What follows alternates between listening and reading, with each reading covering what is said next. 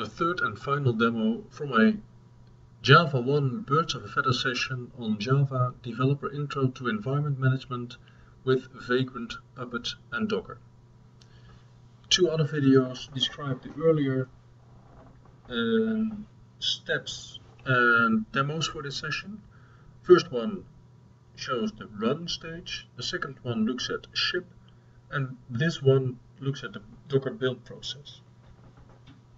And more specifically, the demo demonstrates what might be the preferred way to build Docker containers using a combination of the Dockerfile based standard Docker container build process complemented with a Puppet based configuration management uh, step for the more refined, more advanced configuration of the container. And in the demo you're about to see, we will first generate a simple base container um, run from the Ubuntu base image. And this base container will be uh, Puppet enabled during the initial build stage. And secondly, we will go into the base container, which apart from Puppet has nothing set up and then we will use Puppet to apply manifests and make use of predefined modules to perform more advanced environment configuration, something that the Dockerfile is not optimally equipped for. One interesting step during this uh, Puppet execution is the download of source code from GitHub, and this code is used during the configuration of the environment.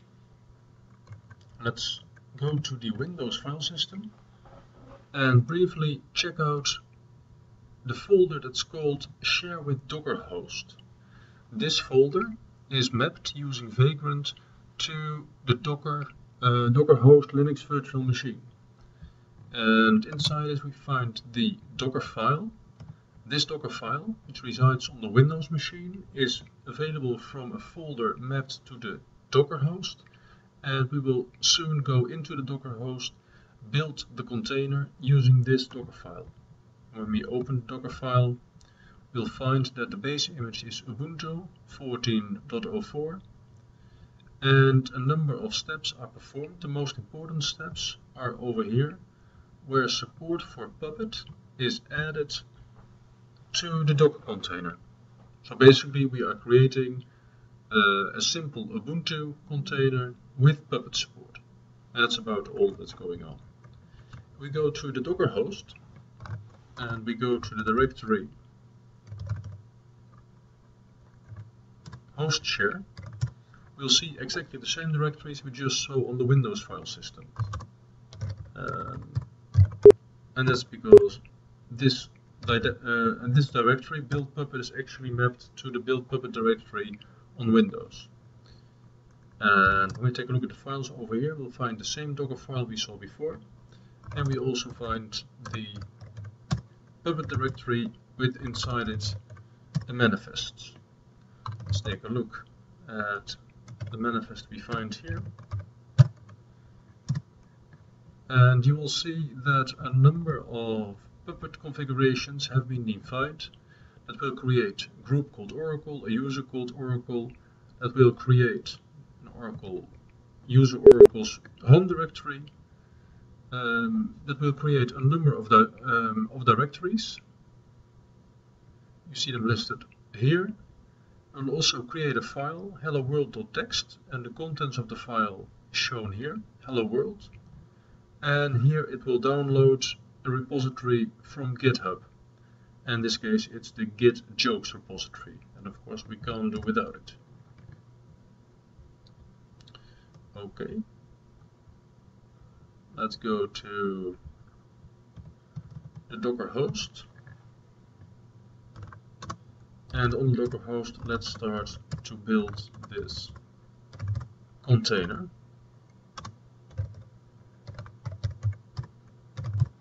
We always perform the build from within the directory that contains the Docker file or at least we have to provide reference to the uh, directory. In this case, I'll just go to the, the directory with the Docker file.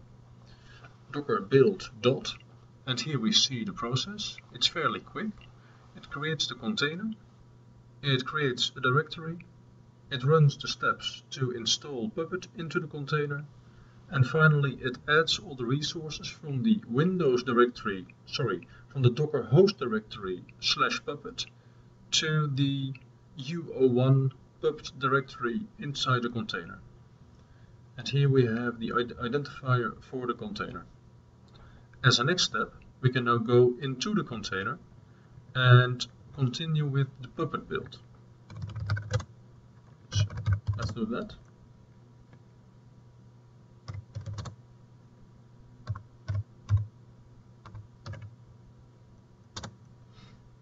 Uh,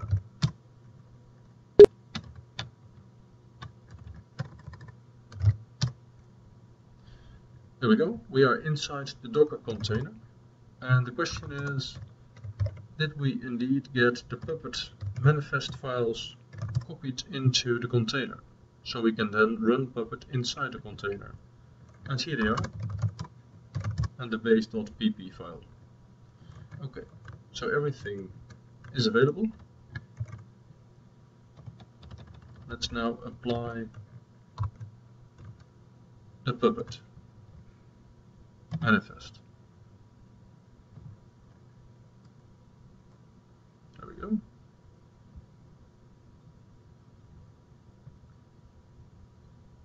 We run manifest and now we wait for Puppet to perform its thing.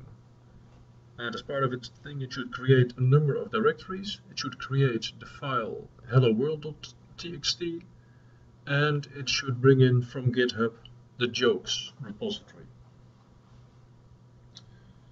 And like I said, these are pretty simple examples of what Puppet can do, but it can be uh, used for far more complex configuration uh, of environments.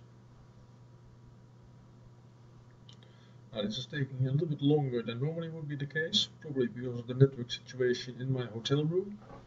And even though it's better than I had during the presentation at JavaOne facilities, it's still not optimal.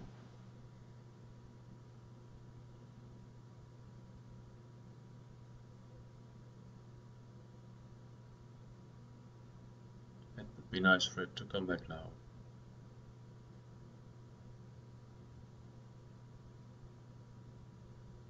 Still working on it.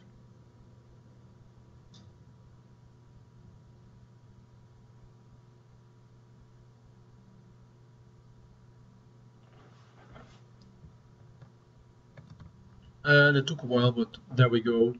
I see an overview of all the steps taken by Puppet. And the last few steps created the file and cloned uh, the repository from GitHub. So we now take a look at the directory u01 slash app that was created by Puppet. And inside this directory is the file hello world.txt content of the file hello world! exclamation mark. And we also should have our jokes hanging around. Let me check where the jokes go.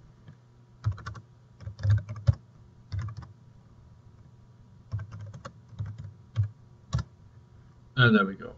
Here are all the jokes. Of course the jokes themselves are not important at all.